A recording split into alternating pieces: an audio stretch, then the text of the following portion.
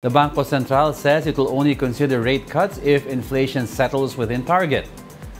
BSP Governor Eli Remolona says the Monetary Board is unlikely to cut rates in the next few months. He says inflation must first settle at the midpoint of the 2 to 4% target band before they could even discuss possible rate cuts. However, the BSP chief notes that they still have to consider other factors like inflation expectations before easing. Remolona says the Philippines is still not out of the woods, with the El Nino phenomenon feared to bring possible supply shocks. The central bank expects inflation to average 6% this year.